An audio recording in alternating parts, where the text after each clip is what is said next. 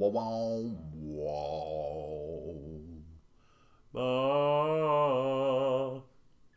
It's a summer Sunday. It's a summer Sunday. Who wants to play? I wonder what everybody's doing on this summer Sunday. Seems like the sun's coming out all over the world. And that's a cool thing. But we're going to sit and talk for just a second. Cover some uh, cover some topics. Lay down some knowledge, lay down some uh, analysis of what's going on. And most of all, I wanted to get a, an interactive uh, conversation going with y'all. At least those of you can spare some time on this summer Sunday, maybe out on your back patio with a laptop. Stone cold chillin'. It's a summertime in the city or in the country, depending where you is. Raptor Jesus is dremeling. Everybody working on their projects and whatnot. Thanks for coming back to Runehammer. Whoo, nanny. Whoo, nanny. Hey. Whoo, nanny. Oh, look into the sky, see a giant bug crawling. Look at all the tank turrets on that big bug balling. Oh, gonna level a town, but got to get inside and bring the beast down. Yeah, yeah, yeah. okay, that one is actually pretty cool. hey guys, greetings to all sentient beings. Tamaste, Natemas, Falagundo. Yo, buddy, Hankerin Ferinale here, back here at Runehammer. We're chilling once again. Hello, everybody. Okay, I want to just break some stuff down today. Nothing mind bending, but I wanted to answer questions that come up so many times. They're worth answering. That's what Q and A is all about, and you cannot do Q and A without a nice cold beverage. These things are amazing. When you're drinking beer like every day for 20 years, these are pretty damn good. Ah, and ice cold on a nice sunny day like today. So I go, before I go back in the yard and uh, feed the turtle, it's time to lay down some knowledge. All right. So hey everybody, what's up? We're talking about tools. So let's get into the tool stuff first because it's really what everybody's one wanting to know about. Okay, so if you're getting ready to get into what I've been calling the RPG underground, if you're thinking about creating some material to put out there, whether it's on the DM's Guild, your own drive-through RPG material, or maybe for your homies at home, you want to you know spread a new game design around to them. Say like, you guys, we should try this game design I did. All cool dungeon masters do that. So hell yeah, you're thinking about doing that. Okay, so when you start thinking about doing that, you need the tools to get it done, and right away you're like, oh man, I got to drop a dime on this stuff. Now, there's really two big approaches. Whoa! Hey, what's up, Ian? Thanks for the big old tip, man. That's my beer money tonight. Woo! Uh, why did I do a Tarzan thing? I don't know. So the first thing you think is like, whoa, it's going to cost me a dime to like go to professional level on tools. So here's my advice before we get into the list of tools that I use. Before you worry about your tools, take a look at what it is you really are wanting to do because you might not need all the cool stuff. Okay, now I'm a real hard ass about quality tools, but if you're just trying to get like something for next weekend for six people and you just want to sort of propose a new game design, you don't need anything. You need like a notebook paper and a pen. You're good to go. But we're even going to talk about what tools to use on that front. But the minute you get into like bringing it, whether it's to DM's Guild or to drive through or even straight to like POD, like that's print on demand, we're going to talk about those tools too. If you're even getting into any of this stuff on a larger scale, just you've got to trust me on this. Quality tools are going to save you so much headache. Now, is that a big deal? If this was a job, it wouldn't be a big deal because you're like you're you're getting paid, you kind of, you know, you commuted down there, you know what I mean? You're there to work anyway. So if the tools aren't that great and you have a little bit of frustration, that's okay. That's part of almost every job that all of us out there are working, right? But this is the funny thing about doing creative work like for a hobby. If you get frustration with your tools, you get like those negative chemicals in your brain that are associated with doing your hobby and you get this this danger that so many people talk about, which is when you turn your passion into your job, right? Like you start to hate it. This is the last effect you want to have on yourself because it can make you not like doing the hobby. The hobby's got to be fun or it's not a hobby. It turns into jobby. Hobbies, cool. Jobbies, not so cool. This is why there's not a store called Hobby Jobby. No one wants to go there. okay, so, anyways, quality tools become important. Okay, but if you're just going to get in and maybe you just want to write one adventure, okay, maybe you just want to make five pre gen characters, then don't worry about this video. Don't worry about tools. Don't worry about any, any of it. But the minute, and any of you out there who ever tried to make like a chair or a table or like landscape your backyard, you know, in the first hour, if you're doing an actual sort of semi scale project, the tools are clutch. If you buy the cheapest shovel at Home Depot and go home and try to landscape your backyard, you like break your shovel in the first hour. You have to go back to Home Depot. Everybody's done this before. I know it. You go to Home Depot two, three times. On the third time, you're buying the most expensive shovel, and you've already wasted the money on the broken shovels. And that's generally my mindset with doing creative publishing. Get the good shovel. Okay, so if you're just going small, just use pen and ink. Okay, and that's where we're going to start. So, where's mine? My level of preparedness is so low. I was just drawing on it while I was uh, eating dinner. Anyway. I work at Hobby Jobby. Yeah, that's too good. Okay, so if you're just doing pen and ink, do yourself a favor. Get Uniball Gel Elites or Uniball Bold Elites. Okay, you can you can quote me on that. Uniball Gel or Uniball Bold Elite. Now these are slightly more expensive pens, but why do you want this particular pen? Why am I such a jerk about it? Like like pen matters. Am I really that obsequious? Do I really look down on people so much I think what the best pen is in the world? No.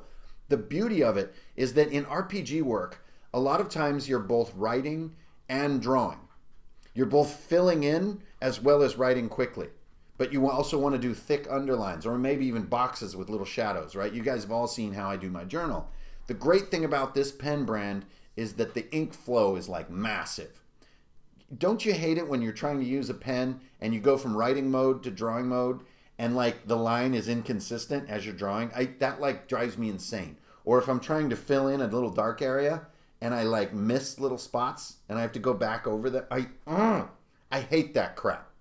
Now, if you're drawing page after page of dungeons and like arrows and boxes and filling in little the little black on the skull's eyes, which I don't know about you guys, but I do that like 400 times every day. The pen's going to matter. So do yourself a favor, get Uniball Gel Elites or Uniball Gel Bold. Now, the difference is that the Bold has, I think, a 0.7 millimeter tip. That's a big tip on a pen. So you get like a, boom, you get a burly black gel ink line. Now, one thing with gel ink, you got to watch where your hand is sliding, boo. If you're sliding around and like your hands on that, that drawing while you're writing the notes for the dungeon, you're going to have all kinds of spread and smear and you're going to be sad panda. And if you're sad, hobby no fun, you do less hobby, become hobby jobby, no good, right? You fall down that slippery slope again. So get yourself the dope pen and watch out where your hand is hanging out. Now, as far as paper, a lot of people just use whatever's laying around and that's totally cool. You know, the good old spiral college rule is like timeless. But if you're using these pens, in two seconds, you're going to realize like the pens are going right through the paper. You can see it on the other side. You're angry. You got like ink bleed going and you just like, Hankerin's led me astray again with his drunken ass ramblings. so if you want to do it right, what you need is something you want usually want to look for archival paper. Or you can do archival weight or heavyweight, like 70 pound. Uh, I think this refers to how much one ream of the pages weigh. Um, and so what you'll see in a lot of quality sketchbooks is you'll see this 70 pound paper and it's like ultra opaque. So you can do full fill ins on one side, sometimes even with a Sharpie, and then hold it up and you won't get much see through at all, even when holding it up. And it's cool. Now, why do you, it's going to cost you double, trust me, if not triple what a spiral college rule is going to cost you. But if you guys are like me, your notebook is your is your holy place. It's like your altar where you worship the hobby of RPG making. And so I really believe the one thing you really should drop a dime on and be happy with is not the latest $50 source book. It's your journal. That's where you should put the 50 bucks. I really do believe this. And then as part of this tool advice, I got to give you a little a little tip. When you get this notebook, like a nice one like this, a nice sketchbook with archival paper, the first thing that's going to happen is you're going to not want to ruin it. you got to overcome that. So my tip is on the very first page, like right when you get home, pull the shrink wrap off it, open it up, write your name, the date, and like draw a little happy face with horns on the first page, like right away. Just defile that thing. Just mm. And then like a big spiral, or like sometimes I'll do like a, a weird looking rune shape or something. Just do it. Or sometimes I'll draw like a teeny little house down in the corner. It just gets me going. It makes me know I've already ruined this damn notebook. I can move on. Okay, so that's that's your low, low, low level tool set that I use.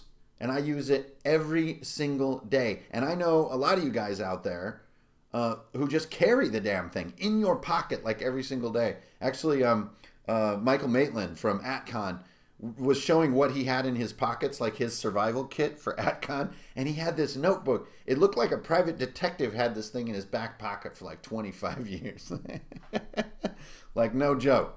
This this notebook was straight fam to this guy. So, anyways, live that notebook life. You're gonna thank me, and nothing is better for getting the tactile feel of creating what we love about this hobby than putting ink on paper by hand. Okay, there you go. So that is the most fundamental level. Now, between there and the publishing tools we're going to talk about are all kinds of cool things like card stock and index cards and blank index cards and Sharpies and silver Sharpies. I freaking love silver Sharpies. So let's say you're doing the index card method, which is timeless. I mean, there's a reason I called my RPG that. You're drawing like that you have a magic sword you want to hand out and make a card for, for like tomorrow night's game. So you draw a silly little sword on an index card. You're just like me, you can barely draw, so you're just like, that kind of looks like a sword. Then you get your silver sharpie and you like fill in the blade. Suddenly it looks super cool. Then you write your cool little stats underneath. Then when the time comes, boop, you hand that to your player. Ooh, they will covet that for life. Another cool thing you can do with silver sharpies is little curly cues on the corners of your index cards. They're in silver ink, and for some reason, I know this is cheesy, it just makes the cards feel really, really cool. Talk about 100% unjustifiable opinion. That's the BS level that this channel has reached. Draw curly cues on the corners of your index cards with a silver sharpie, and it will be straight fire at the table. You know what I'm saying? All right, here's to that. Okay. Those are the most fundamental tools I can recommend to you. And I don't care how far you take things, you need those. You need a badass notebook that you love that's yours. You need damn good pens. Get Uniball Gel Elite. Get those things. Get a box of them, like on Amazon right freaking now. I don't have an affiliate link. I don't have time for that. Go get those things. You need those. Then we've got the interim tools card stock sheets, index cards, silver Sharpies, Sharpies, and all the small sort of cardboard and uh, home makeable print in place stuff that you can bring to a table that really elevates a table. Then we get all into miniatures and all this other stuff, but we want to get into publishing tools. That's really what the video today is about. So, for those of you who have asked so many times, I hope this video is just a final, uh, okay? And I'm not going to show you a bunch of cool prices right pictures of all the stuff I use. I'd rather you just look at my mug. Look at this guy. I play RPGs every damn week. Oh yeah. Okay. You're looking to publish, all right? You've you've written an adventure, or uh, maybe a new class, or maybe some loot, or a dungeon, or you've got some monster designs that are really cool. But you're like, oh my gosh, these are dope. So you're gonna need some tools, and this is, by the way, regardless of which aspect you might be doing. I recommend that you learn the tool set because when you get the set, that's when you really start to own the process. If you don't get the sort of tool set and the knowledge that goes with it, you're going to be relying on other people, and a lot of times that can involve paying them, and that again can give you those negative endorphins, and you don't want those because then you got hobby jobby going. And you don't want a hobby jobby. You want to hang out in Hobbyland, all right? So if you can keep it internal or like stick with like your fam homies, like straight squad, you know what I mean? Then you're not going to be throwing a bunch of cash around and you know the damn tools. Also, even if you do pay somebody, let's say you pay somebody to do a video for you, because uh, if you're publishing on Drive Through DriveThruRPG, having a video boosts your sales like by 4x. But then you get the video, the dude has moved to Finland, you're never going to hear from him again, and he did the logo wrong on your thing, and you're like, now what do I do? No big deal because you got the tools. You can fix it your own self. Boom. All right. So the order that I want to hit you with tools is is not an accident. So yeah, so the order that I'm going to hit you with the tools goes from sort of the order of escalation of your involvement in publishing. All right. So remember, we're starting all the way back down pen and journal. pen and journal is where you learn to make pages, to make layouts, to think clearly, to think on paper, to look back at your own work and wonder, is it still cool? That's a huge part of publishing. But because believe me, sometimes you get those Shia LaBeouf moments where you're sitting in this dark theater watching a movie you made like 10 years ago and you're just weeping because you hate what you did. You're ashamed. You don't want to be Shia LaBeouf in that particular situation. You want to be Shia LaBeouf in the Elastic Heart video where he's totally awesome. So that's what we're going to do. All right. Focus, power. Tamaste. All right. First of all, you're going to get into digital drawing or some form of digital writing. Now, even if you are swearing by just typing into your computer, at some point during any digital publishing project, you're going to need to edit some images. And if you're homie drawing like meme style with impact font and drawn with your mouse, it's all like janky and sawtoothy, you're not cool. And people aren't going to want to read your stuff even though it's really well written because your art was drawn with a freaking mouse. So you're going to be confronted with this thing right away. I need a drawing tablet. Here's what you need to get started. This sucker right here. Get over here. Criminy. Look at this little guy. This is the latest miniature from Wacom. Okay, and I, I, it used to be called the Bamboo. So I have a bamboo over there as well that I, I used so much it actually wore the surface off. You can like see the weird cyber stuff underneath. It looks like solar panels kind of underneath there. This is what you want. You want a little six inch Wacom tablet, just like this guy. Look at this little dude. This guy's great. And you can get a wireless one too if you pay an extra 20 bucks and then you don't have all this shenanigans going on. Um, I don't know the model number. What am, what, what am I? Best Buy? No. You just want this tiny little Wacom tablet. You can hook it up to any laptop. You can sit in the living room and watch Legion while you're while you're drawing on your computer like a cool person. And yes, it's going to be a little bit weird in the beginning, but you can do it. All right. Here's your first difficult moment. If you're going to get into digital drawing with a little Wacom tablet, you're going to need digital imaging software. Now, some people will tell you, we'll just get GIMP or one of the other sort of freeware or micropay type image editing things. But here's why I'm going to have to just hit you right in the right in the in the Jimmy, right in the jewels, right in the family treasures. Mm. Ah, just like Matthew McConaughey. I'm just gonna ja! right away if you want to get into digital drawing. Get frickin' Photoshop. Get the Adobe Creative Cloud trial for free for a month. Start working in Photoshop. Why? People are pissed off because you get it on a subscription model and they think it's too expensive. It's a ripoff and all this other stuff. Here's why. It's not because Adobe Photoshop is the best thing ever. It's because you will wind up using it if you pursue this anywhere beyond just dabbling. And the free trial is a month, so you can dabble for free. But if you go beyond dabbling and you use something like GIMP, the problem is not that GIMP sucks, GIMP is fine. It's that you will develop really messed up productivity workaround habits. And when you finally upgrade because you made a cool thing and you didn't hang with your homies who use Photoshop, and then you get Photoshop, all your muscle memory and your habits are all weird and twisted because you've been using these bonko cheap tools. So don't do it. Right away, if you get into digital drawing, boom, get your bamboo tablet and get a free trial of Adobe freaking Photoshop. It's not rocket science, all right? Now, before long, you got to throw down. You can get essentials for super cheap. It's a stripped down version of Photoshop. It's mega cheap. You can get it for like seven bucks a month. It's nothing. Now, this monthly thing, you're freaking out already, but here's where we're going to take it next. This is why this is clutch at the beginning to just throw down on Photoshop. One, you get the good tool habits. Two, you're going to wind up with all the other shit. okay, and that just means the whole software suite. And that is, these are the ones that I use. Remember, I'm not just throwing smoke here. This is like what I do.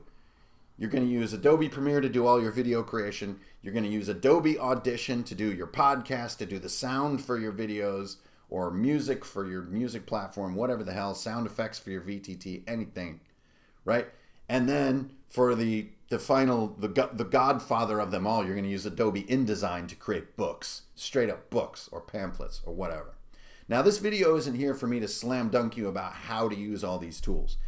What I'm saying is that like the stuff you guys see me doing, I do on the Creative Cloud and one subscription gets me everything and gets me constant updates because a lot of the cheaper things seem really cool for a couple weeks, but they fall out of awesome. And also, as your skill develops, some of those cheaper tools, you're like, man, what am I doing? Using Sprite Maker Pro. I must be out of my freaking mind. Okay, now, not to diss on Sprite Maker Pro, somebody out there probably wants to use that.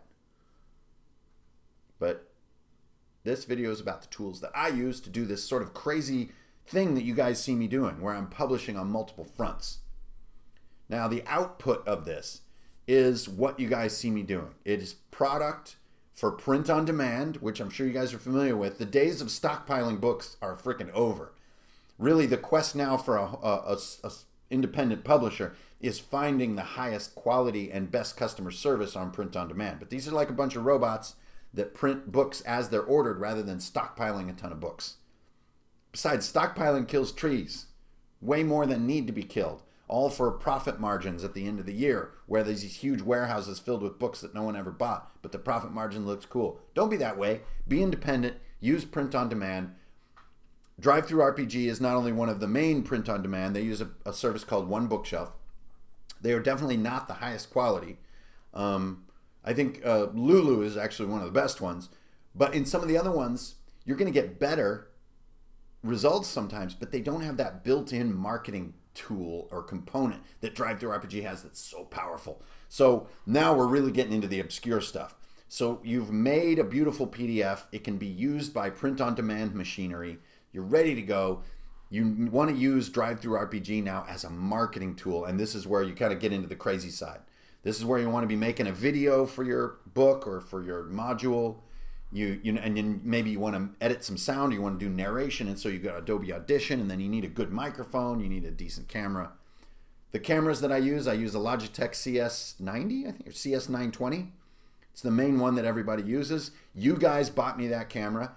The microphone I use is a Blue Snowball. You guys bought me that microphone, um, and the patrons bought me that. But a lot of the tips in YouTube YouTube bought me this stuff. So there was a whirlwind tour of my digital tools.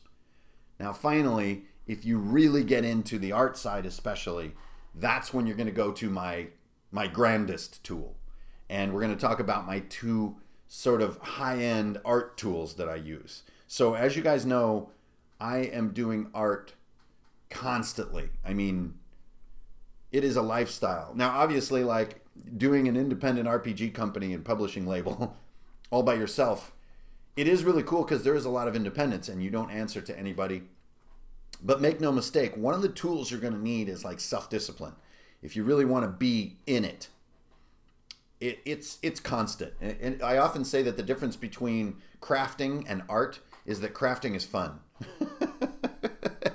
art is like some kind of weird affliction. Like nothing is ever good enough. You're constantly trying, you're constantly working and, and pushing yourself and dissatisfied with your art and pushing and pushing and pushing. So, no, no, no new goggles yet. I got no spectacles. Hopefully next week. I know I look like a wizened old. Where are my shorts? Anyway, final two tools uh, I want to show you, and there is some key differences. The first one is the Remarkable tablet. So while you're uh, hanging out on the video here, jump open a new tab and go take a look at this thing. The Remarkable tablet is right here. Oh, here's mine. Oh, I just dropped the pen. Here's mine. Well, that's the back. Okay, so here's mine. This is a non-luminous drawing surface.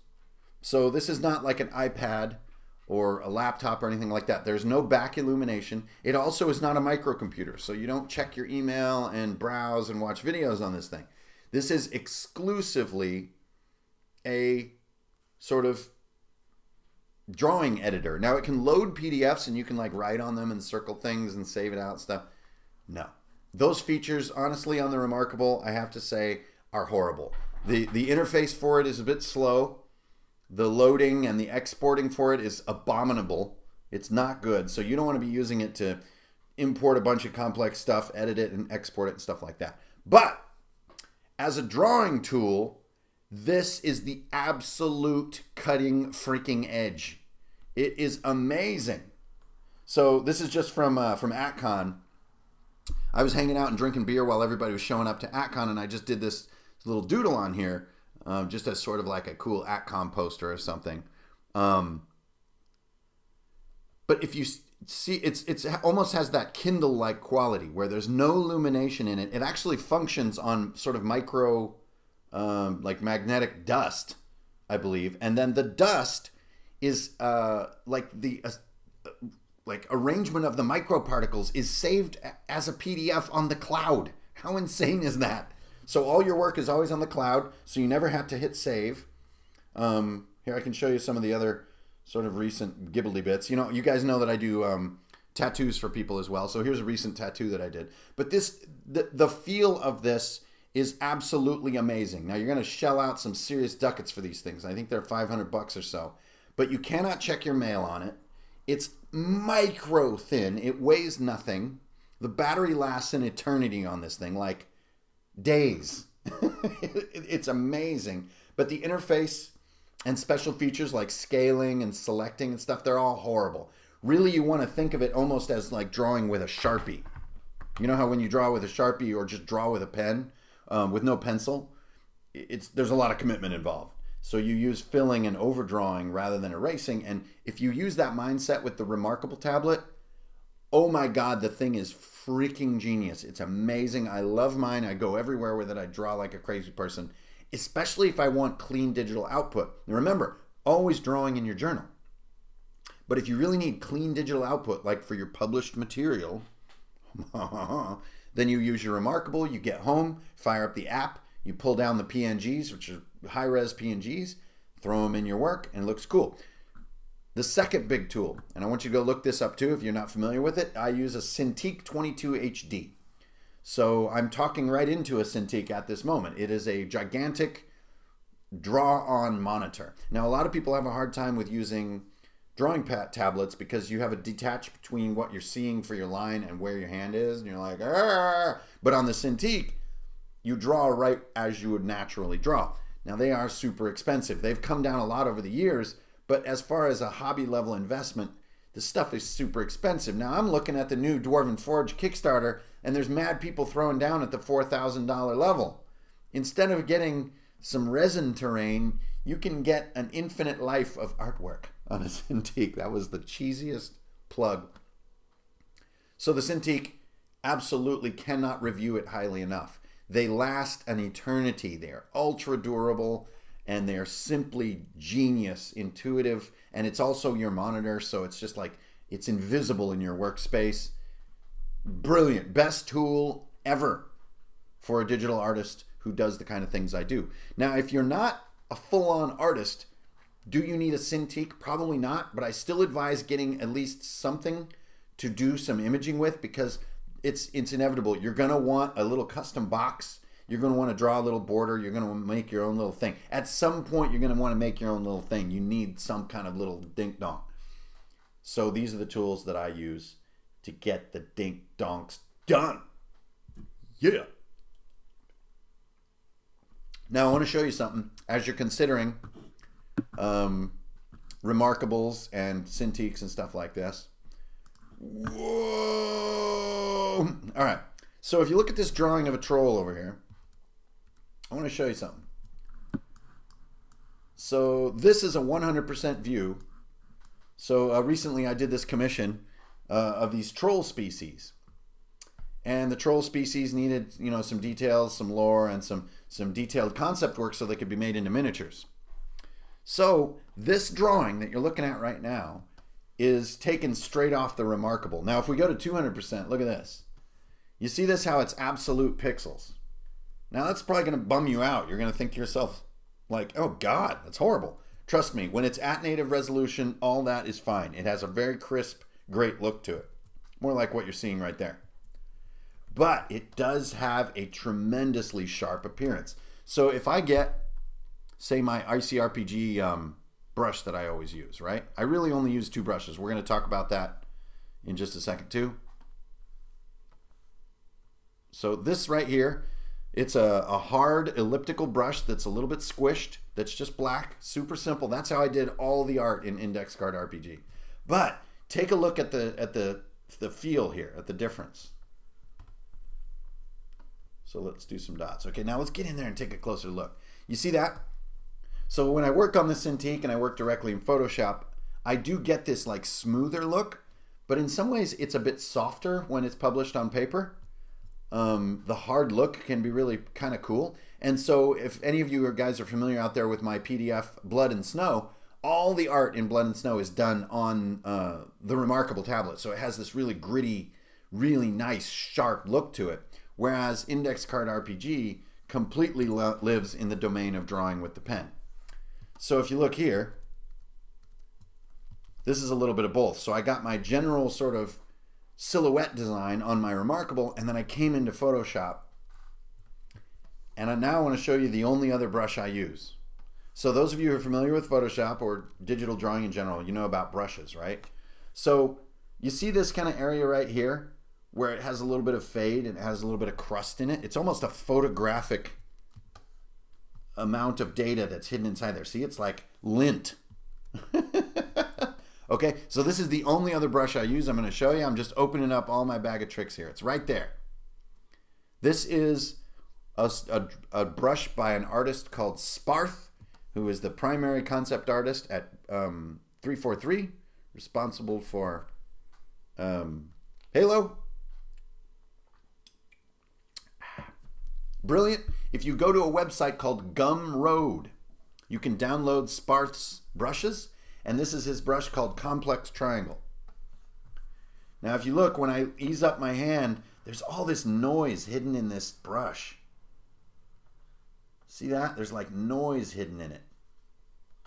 So when I want to do something with a softer, kind of layered look with some noise in it, this is what I use.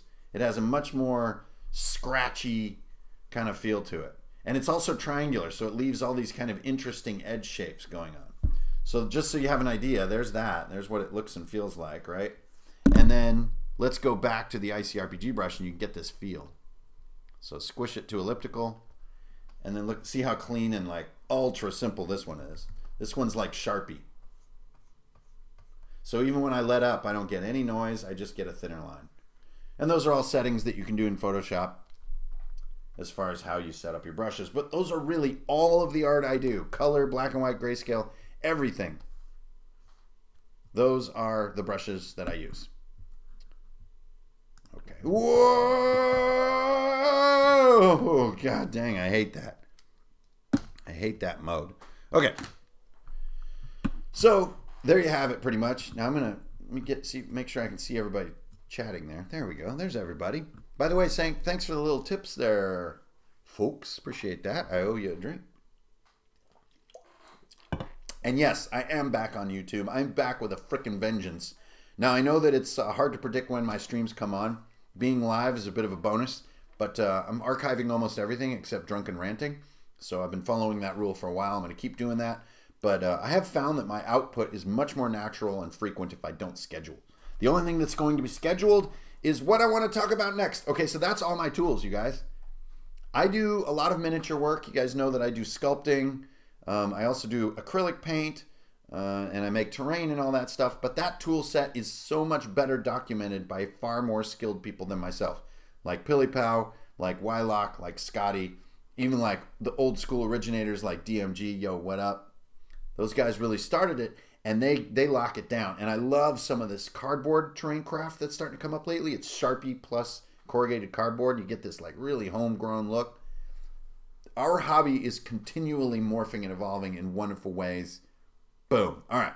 So I'm not going to talk about my whole terrain sculpting thing because honestly, I'm a hack in that department. But as far as publishing RPGs, for some bizarre reason, Thor must be trying to teach me some cruel lesson. He hasn't revealed the punchline yet. Index Card RPG has been tremendously, tremendously, tremendously successful. Um, and so I would like to think that's at least in a little bit, in part because I what I've been talking about on the RPG Underground series, of which this video is a part. It's basically saying we need to create what we want out of this hobby, not buy it. And it's not easy, it's not cheap, and it's not fast but it is the coolest stuff out there. I think is the independent work that I see people doing. Now, obviously, some of the bigger publishers are made up of independent people, and I understand all that's not lost on me. Um, you know, I have been critiqued in the past for ranting and raving about some of the most successful people in our hobby, like I'm envious or jealous or something. Maybe I am envious and jealous. Is that so wrong? I mean, I want to be the best. I see people at the at the top of it, and I'm kind of like, oh well, they're not as cool as I am. Come on, let's all be honest. Everybody feels a little bit of that. I don't want to tear them down. It's not about that. It's just I really do believe in the small time independent kind of thing. And I think it's true in a lot of creative venues like music and even film. Sometimes when things get big, they're just not quite as cool as when they were a little smaller. I mean, I'm not hating on anybody. I'm just kind of saying that's how I feel. All right, this, this is what I'm saying. Okay, so once you get into InDesign, that's when you can really start doing bookmaking. You can do layout. You can do print and play sheets. So I really hope everybody goes and takes a look at some of the stuff that I've done in that area because I hope that there's more of it happening in the near future. Getting lots of fun print and play material with a PDF is uber, uber fun. I really enjoy it. It gets the scenario on the table in physical form very, very quickly. And um, the Pathfinder pawns are really what turned me on to that whole 2D mindset. And then being able to present my own custom stuff. Is my custom stuff as cool as Wayne Reynolds' art in Pathfinder? Hell no. But it's my stuff. And that's what I think the RPG Underground is all about. That's why you're going to all this trouble, right? Because you want to make it. It's DIY, babe. Woo! Okay, now we're going to talk about the next thing I want to talk about. So if you're really just here for DIY RPG publishing tools, you can just get the uh, uh, because I'm done talking about that part for now. Now I want to get into really asking you guys, all 140 of you, which is awesome, very directly. I need advice on this one. I'm not sure what to do. I am terribly, terribly excited about my new channel and my new sort of creative endeavor the Dungeon DJ. So this is me playing a two-hour set of completely bizarre, progressive, slamming, ambient, weird, creepy, sort of suggestive, cinematic music that is, at least in mindset, created to back a really fun, dangerous, scary D&D session. So that's the Dungeon DJ. I started a new channel to do it because I was worried about like spamming you guys with what might not be considered like core material for Runehammer. But I'm here to ask you straight up right now in the comments, just throw down, you guys. What do you think? Should I just put those live sets? It's going to be every Saturday at 7. Should I just throw those live sets right into Runehammer? Or should they be a separate channel so they don't get in the way of all the sort of core material? And then we're going to talk about everything that's going to go down in July. So, what do you guys think? Should the Dungeon DJ live on a separate YouTube channel, which is what I was going to do? Or should I just combine it right into Runehammer? Should I just keep being Runehammer and nothing but Runehammer? What do y'all think? There's 140 of you hanging out. So what do you think it'll be? Do do do do. You don't get to say yes. It's multiple choice. Throw them on Runehammer. Put it up. Runehammer. Keep it tight. It fits perfectly with Runehammer. Oh, okay, okay. Nice, nice, nice. Thank you, you guys. All right, great. So, like, why bother just making an entirely new YouTube channel that has 200 subscribers and flirp a dirt? That's awesome. So we're just going to get way more views. We're just going to bring it right in. It's it's going to live in its own playlist. Thanks for that idea, Ryan Freeberg. Yes, we're going to have a playlist called the Dungeon DJ. Um, Drunkens and Dragons music said combine it, but yeah, use a playlist. Okay, awesome. So this way, Saturday night, if you guys don't have a game going, you'll get the notification when I come on live, and uh, and it'll be great. So 28 millimeter RPG, another channel. I'm sorry, you're a little bit of an outlier there, my brother. Uh, everybody's saying combine it and use a plate. Okay, cool, cool. Thank you. You guys are the best. See, uh, this is my favorite freaking thing about this revolution we live in. I can just straight hit you. I can just straight hit you up. Yeah, thanks everybody. That is so. There we got one more separated. So I, I'm gonna have to satisfy the the great minority by doing the playlist. So they'll they won't clutter up when you're trying to watch the more core material. Um, and also, if you want to play entire playlist, eventually you'll have like 20 hours of this kind of you know, ambient sort of flowing music that occasionally gets into some hard beats and stuff for battle scenes. And I'm trying to visualize for each set a sort of a themed night. So we've done a couple of kind of scary hard ones, and then I'm going to do some like Elysian ones, some more bright ones, and you can be able to choose them. But the thing I wanted to do with the Dungeon DJ was make dungeon music. There's a lot of dungeon music out there. I wanted to make stuff that was much more progressive, that used all new cutting edge stuff from Spotify and didn't kind of leave you in this kind of cinematic hole. You know, I, I do feel that like fantasy cinematic is a genre of music that really has is getting a bit played out. Uh, it just sounds, you know, like you know, it sounds like Lord of the Rings music. And it honestly, for me, it's like a bit of an energy kill at a session. I like a little more thunder, and then I like a little more space. You know, I mean? and then occasionally I want to hear some like freaking ACDC in there. Just want to fucking, ah, kobolds. Yeah, baby. Woo! Shoot the thrill, motherfucker. All right. I couldn't get through a stream without dropping an MF bomb. Okay. Yeah, that that uh, that's me doing all that. So when you see the Dungeon DJ, that's me doing all that. And if you want to talk tools, uh, there's what I use back there. I use um, an Apple MacBook Pro. I use a Hellboy board game as a as a desk. I use a Reloop beat pad. I use a Casio 2850 and a Behringer mastering mixer. And yeah, that's how I do it. And I use 20 years of DJing experience. so that, that tool is going to be hard for you to find. Okay. Thank you everybody for sounding off. It shall be done. We're putting it on Runehammer. We're making it a playlist. That's so much less work for me. They also are going to live on Mixcloud. So if you want high res, uh, high, you know, high fidelity versions. They're going to be on Mixcloud. If you want downloadable MP3s of these live sets, they will be downloadable, but only for patrons. So uh, on my Patreon page for $1 patrons, you'll get all the mix sets in MP3 format. So if you want them in your RSS feed with my podcast, whatever. Okay, enough of that garbage. It is time to talk about Spider Man. No, it's time to talk about July. July of 2019. July of 2019 will be spoken of for an age. The age of the Heckune Carapace. Okay. These are not toys, man. This stuff, it takes years to pull all this stuff together and maintain it and keep it and keep it updated and keep it working so that you can express yourself fully. Okay. Um, yeah, yeah. Patreon, uh, my lowest level is $1. For $1, you get 47 hours of podcasts. Um, you get some of my little doodads here and there called side quests, and now you'll be getting the uh, the DM set or the DJ sets. There's five, eight, and twelve dollar levels on Patreon. Blah blah blah. Everybody knows about Patreon. Just go to patreon.com/runehammer. Whatever. At the immortal level, that's where you get into our Discord server and you get into our game groups and like it's kind of ultimate level of cool. You get free versions of all my PDFs and stuff like that. But rock on, whatever.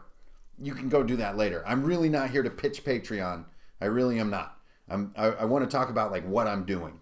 I'm really happy about Patreon, but the, I feel like the more you pitch it, the, the less palatable it is. Okay, so let's talk about July. What am I going to be doing in July?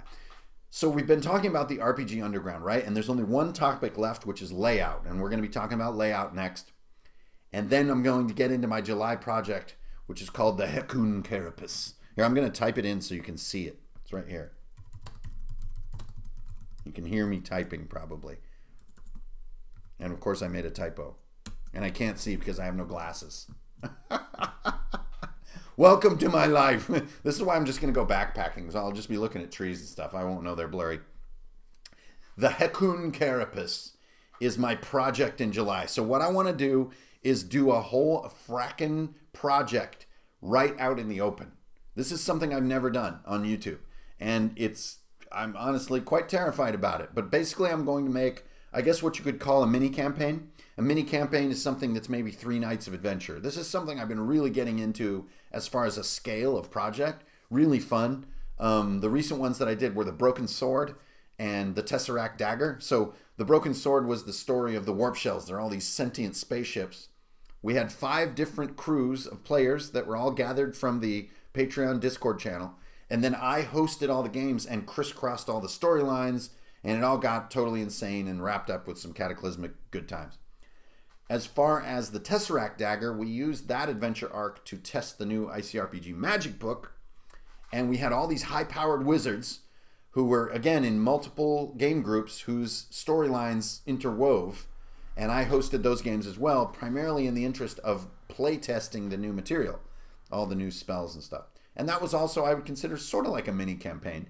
Um, but what I want to do in July and it might take a little more than just July is lock down a creative project right here on YouTube so what I would do to make something and then it's going to just be out there. And since the whole thing's been made in front of everybody, there's really no secrecy to it. So I don't I probably won't even charge for it or anything. I think it's just going to be like, "Hey guys, you want the the Heckune carapace? It's this weird idea I have."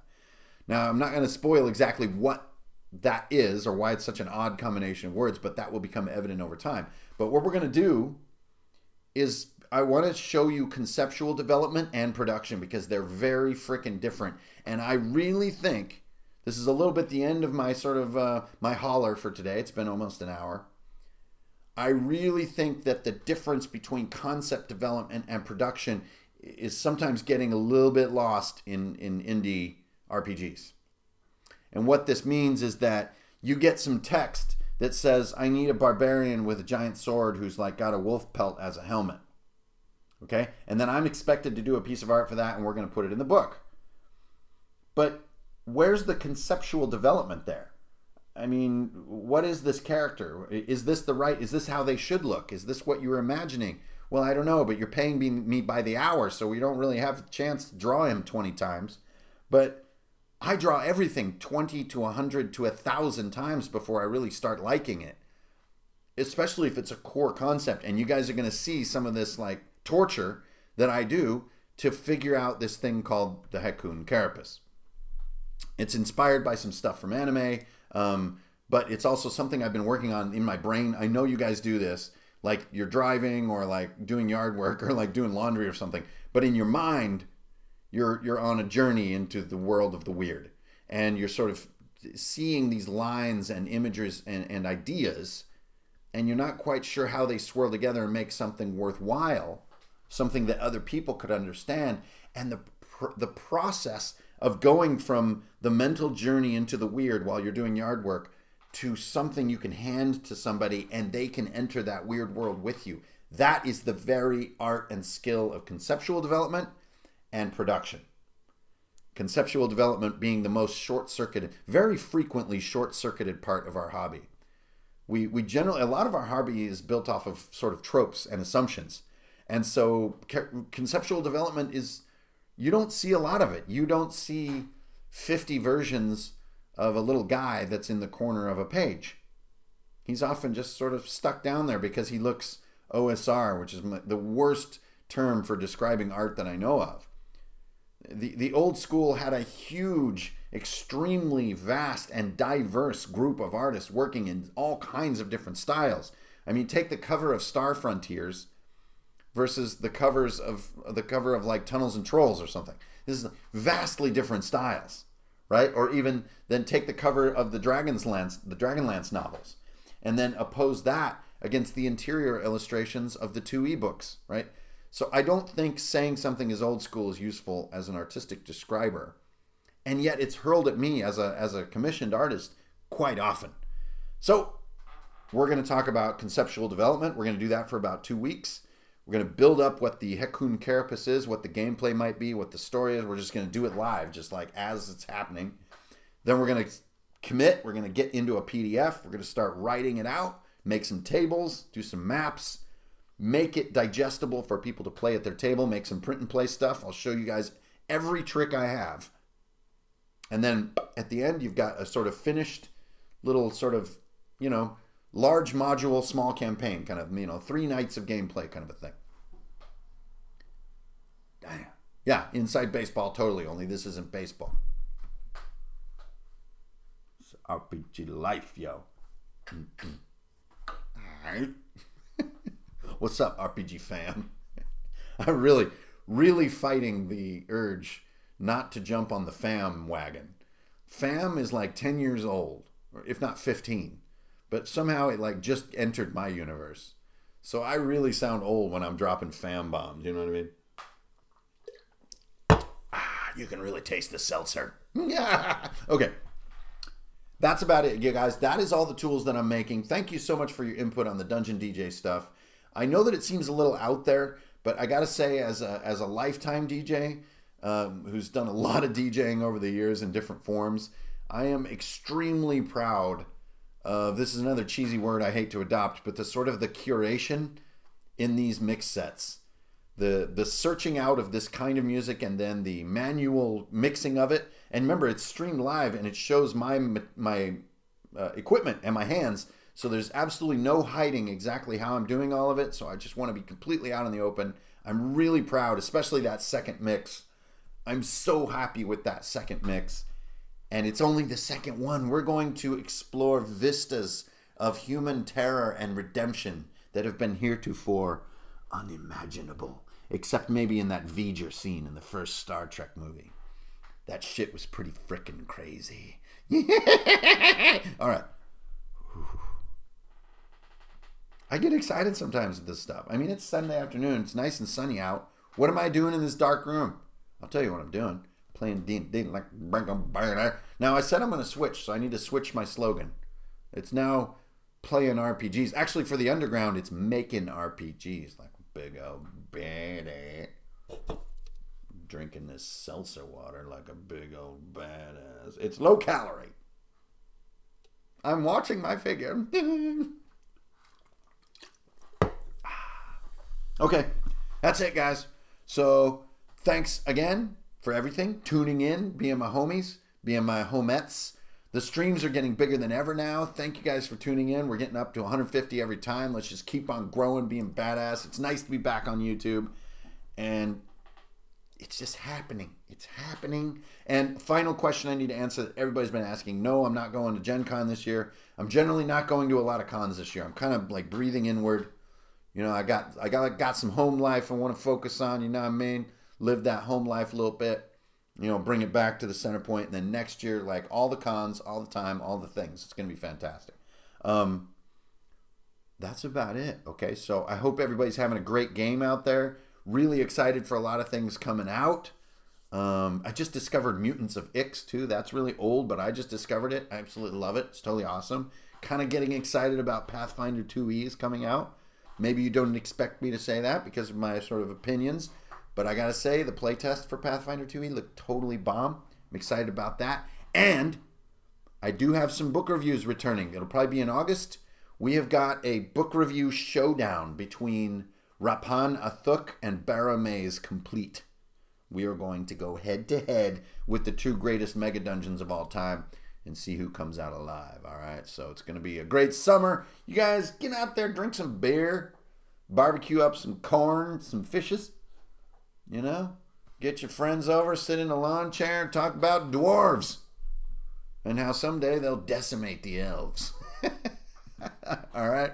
Strength, honor, beer, keep it real, don't steal. You're always going to get a deal. This is Hankerin Ferinale, your old friend here from uh, up in Barhome in the mountains of Runeham area. I'm going to see you guys on the internet. All right. Thanks for tuning in, everybody. I'll see you next time. Boom boom boom boom boom boom. Boom boom boom. Boom boom boom boom boom boom boom. Ha. A da ga. Boom,